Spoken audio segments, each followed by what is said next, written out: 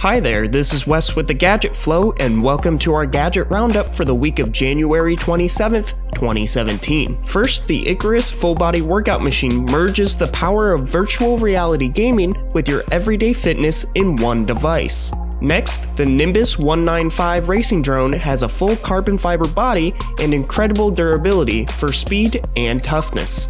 Finally, the Quadrofoil is an electric personal luxury watercraft that can seat two people with a silent motor and zero emissions. These are just a few of the awesome gadgets we found this week, so be sure to check out the full list at thegadgetflow.com.